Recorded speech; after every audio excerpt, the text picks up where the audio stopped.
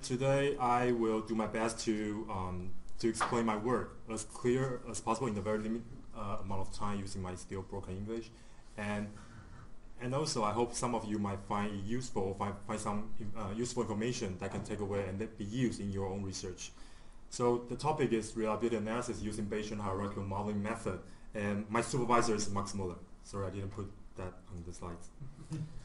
and okay, so the first thing first, uh, the reliability. This is the, an example that can that I think is quite interesting that can help us to see what reliability is through an example. So a hammer might be 100% reliable if used for driving tacks, uh, but would, be, would have a zero reliability if used to stop a train. If used to break rocks, its reliability for a given period might have some value between 0 and 100%. So that's the definition of the reliability. So you can see that the probability that an item will perform a required function which are different. If, if the required function are different, you will have different reliability. And another um, important thing is that you have for a st stated period of time to define the reliability. But that's just uh, easy way or an interesting way that can help us to understand and remember what reliability is, but that's not my research. And so my research is uh, in reliability, there are different way, different perspectives to look at this problem. Some people use um, material way um, doing fatigue analysis or even in logistics that try to decrease the operation and maintenance cost. But my research is about statistic analysis. The goal is to predict the time to failure distribution of the target, which is the small wind turbine in my case. So the bigger picture behind this is to provide suggestion for in the decision-making process that can help the um, the people in the company to uh, when they make some decisions, they have something to depend on. So as I say, that's the goal. But what I'm trying to do is that I want to use all the information that I can get through the process. This includes the expert knowledges, uh, which is the belief, which is a, what's, what's your belief of the reliability of a certain component. And another thing is the warranty record, which is a direct time to failure information that collect through the implementation of the turbine. And also the SCADA data, which is collected throughout the process. And the SCADA data used here are turbulent intensity and average wind speed because that's the data that the company collects. And then the, the last one is the geographical data, which is the location of the turbine. And for this one, it needs to be more explanation is that once you know the location of the turbine, I try to understand the terrain slope of different uh, from different uh, direction, and the goal is to understand the inflow angle affecting on the turbine, uh, affecting on the time to failure distribution. So that's my that's the thing that I want to do, and the thing that helps me to do this is Bayesian hierarchical modeling. So Bayesian hierarchical modeling is one of the graphical reliability structures. You might see the previous two before, uh, the reliability, block diagram and the fault tree, and it's just another graphical uh, reliability structure. And these three uh, structures, they are interchangeable. If you have one of the uh, two on the on the first two column, you can change that to reliability block diagram. But I didn't use this approach. I created the Bayesian hierarchical modeling from scratch. But this I just provide you some uh, uh, for three different simple uh, structure where you can maybe you can use. So why? Why I use Bayesian hierarchical modeling? Uh, as I said, I want to I want to use all the information that I collect. Now, not, not I collect that the company collect. I want to get use of it, and then the first thing is that you can handle soft and hard information in the unifying framework. When I say soft, that means the beliefs in the process like, like, so it's not related to any data. And it shouldn't come from the data. And the hard information is the data that you collect through the process, like the uh, warranty, uh, the time to failure information the warranty record, the SCADA data, the, uh, the geographical data. And this could be discrete or continuous. Uh, discrete means it could be one or zero. It's an indicator. So it indicates like whether the status of the data. Or continuous means like um, it could be a value like voltage, like current, like temperature, anything. And the second is that people use this um, method to, uh, to create large complex model, like thousands nodes using this method. And then thirdly, I think it's the most important thing, and that's why I think the third one is the, the, the main reason I use this one, because you can create a very complex model, but you need to solve it. So there's a way, a brilliant statisticians already developed a way to solve it. And the software that, that helps you to create a model and then solve it is called WinBUGS. And the method is called a Markov chain Monte Carlo. It's basically a, a, it's a Monte Carlo process, so it's a sampling process, but with a Markov chain mechanism behind. So, and I implement the model using two main open source software. One is R, one is WinBUGS. So, Bayesian hierarchical modeling, the, the foundation is the Bayes rule. So what is Bayes rule tells us? So Bayes rule basically tells us about uh, the posterior joint distribution proportional to the likelihood function and the prior distribution. But how can this be linked to our problem? So all the data that you have, uh, you have collected, that will help you to create the likelihood function.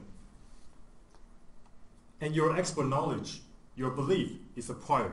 So you can see this as an updating process, that you have this prior, and then you collect data, and then use this data to update your prior, uh, your, your prior belief. And then the goal is the, the result is the posterior distribution, which is the updated prior belief. And this is the proposed model. I forgot to say one thing because the data is confidential, so I won't be able to show you any results. But I, will, I can show you the, the model that we developed and the way that we show the model to the company. So the goal here is to extract or predict time to failure distribution. And on the way there, we can also quantify the repair effectiveness of each component, also the, to quantify the effect of the environmental factors. What, what do I mean by that? I will explain a bit later. And the entire proposed model looks like this. It's like a uh, native structure. So the core is the fundamental model, and on top of that we add random effect, and on top of that we add repair model, and on top of that we add environmental model. But with the complexity increased, you need more data to to make the to update your your your prior belief basically. So so this is the model that uh, we proposed. Um, no, normally I, I need 10 to 13 uh, slides to explain this model, but I will try to explain in one slide. And in a, I, I, I try, I, I will try my best. And different color represents different features of the model. And from this model is a, is a, um, is a graphical reliability structure, but uh, you can only see the dependent relationship of each node, but you won't be, you, you, you don't know what's the relationship between this. You only know that, okay, so this node and this node depend uh, is the parent node of this one, but you don't know what kind of function that they are depend on. But so it's clear that when you try to trace back to, trace back to which nodes that are affecting on the certain uh, stochastic node. So the first one, the, the fundamental one is the assumption that the time to failure distribute, uh, the time to failure is sampled from a Weibull distribution. But why Weibull? Because Weibull is quite flexible, and then the lambda is the scale parameter of the Weibull, and then beta is the shape parameter of the Weibull. They all have certain reliability meaning. So lambda can, can be linked to the scale of the of the of the time to failure. It could be weeks, it could be months, it could be years, and then the beta could correspond to the uh, failure characteristic that could be increasing failure rate, decreasing failure rate, or constant failure rate. So it's widely used in reliability analysis. And the node with the underline E, that's the node that we have data. So on top of the fundamental model, I add random effect. The goal of the random effect is to investigate the reliability behavior to individual turbine level. And then the best way to explain this is that you give each turbine a flag. And then through the updating process, the flag will get bigger or smaller. But the flag is a is a magic flag. So say say if someone if a, if a turbine is called Tom and another another turbine is called John, sorry if you, your name is Tom or John, and uh, through the process, maybe John thinks, okay, I, I, I need more attention, so my flag needs to get bigger. But at the same time, because the flag is a magic flag, so he can communicate with the Tom. And then he knows that okay, Tom is in the in an even worse uh, case. So he thinks, okay, maybe my flag should be that big. Maybe Tom deserves a bigger flag. That's how random effect do. That's the best example that I can think of to explain this. So that's how we can uh, investigate the, the reliability to individual turbine level. So on top of that, we add the explanatory variable, which is the environmental factors. And as you can see that all these uh, nodes, they are all depend on only the scale parameter, which means I only assume that will affect the scale of the time to failure. So it won't affect the characteristic of the failure. And here I just use a very simple uh, um, log lin uh, linear relationship to add all this to the scale. And as you can see that uh, we have uh, turbulent intensity, which is TI, average wind speed, terrain slope, but they are real data. So BCD is used to quantify the effect of this real data. So after the updating process, that BCD will tell us how uh, these three environmental factors affecting the time to, uh, affecting the scale parameter and also affecting the time to failure distribution. So the last bit is the um, we try to know the effect of the repair effective, effectiveness, and the way that uh, we do that is that we consider the effective age. There's an example. So we, we, we changed the, the traditional two parameter Weibull distribution to a three parameter Weibull distribution. But the, th the third parameter is the condition on certain age. So the example is, given a person is 99 years old, the probability that he will or she will die have a certain probability.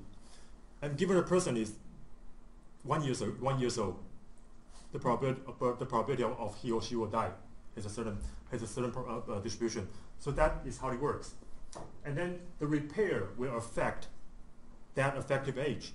So if we say uh, the example would be uh, if the medical is really advanced, then the medic after every treatment that can bring us back to 18 years old. That's good. So, so that's uh, that's how it works. So basically, that's the uh, glance of the, the model. And then we use the time to failure uh, data to update the entire model. So that's uh, that's the model itself. Sorry. And but the result of the model will be a lot of posterior joint distribution, and the company doesn't like that. So I create a website to um, to show the result basically, to um, to show the result in a more interactive way and a more understandable way. And this is also uh, developed in an open source soft, uh, environment. It's, uh, it's called Shiny. If, if you are doing data analysis and you want you want to show, you want to create an interactive uh, website, uh, you can use that. It's free. And then the concept behind this is that I put all the algorithm on the server. And then I leave the confidential part, the sensitive part, uh, at the customer side. And then, but there's a limitation of this one because each model that I just shared takes maybe one to two days to run because the uh, because the Markov uh, Monte Carlo takes a lot of iterations. So for the proposed Bayesian hierarchical model part, the website can do post analysis and also the visualization of some raw, uh, raw data and then the life, uh, the life part is to do some conventional reliability analysis. And this, uh, this conventional reliability analysis are uh, HPP, uh, Kaplan-Meier, Crow-AMSAA, Weibull, and this is uh, pretty popular and because this is specially designed or tested for repair system.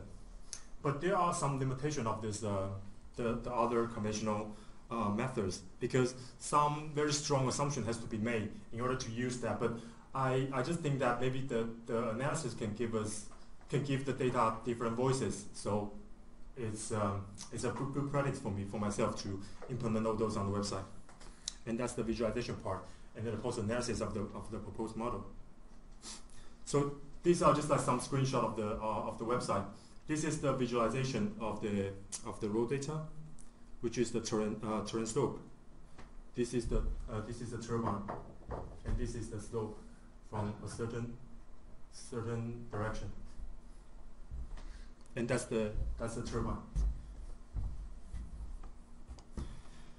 And this is the result of the after after we give the flag to each turbine, we can see how the reliability performance of each turbine.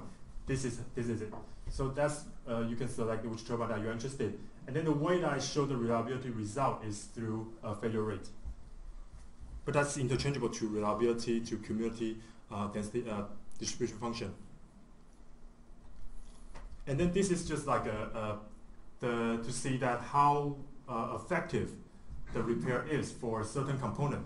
So you can select a component and then you will just show the posterior distribution of the uh, stochastic node that we use that can help us to quantify the repair effectiveness. It's just like a closer to repairs new or minimum repair.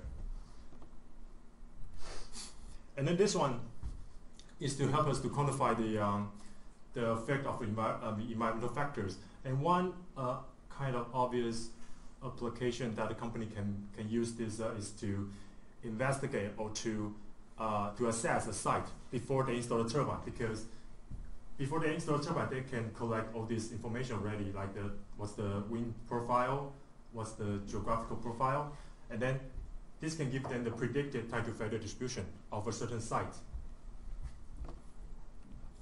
so uh, so this is my last slide and so if you can recall that I mentioned expert knowledge before, and that's one of the information that I want to use, but for the previous slides, I didn't actually use it because I used non-informative prior. Basically, that says I don't know anything before I collect data.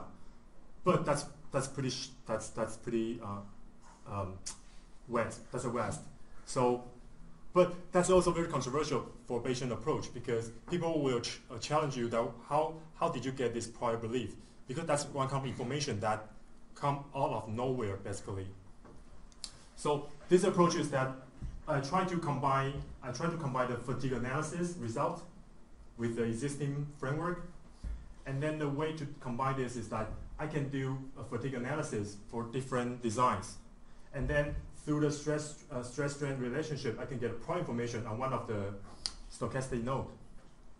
And this needs a bit like a reparameterization because this is obvious different structure of the previous one.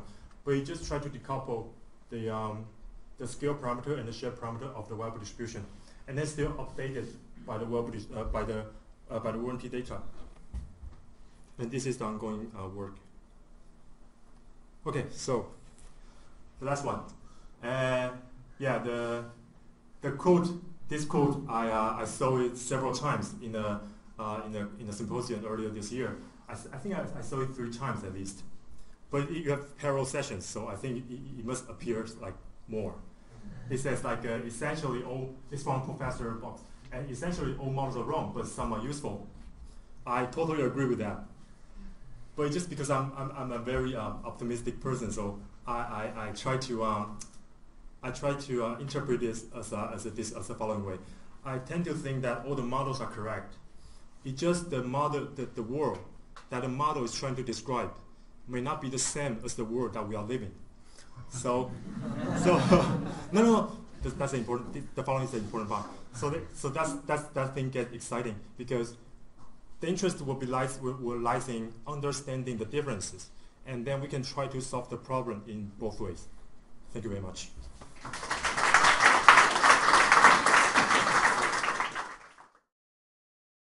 This production is brought to you by the University of Edinburgh.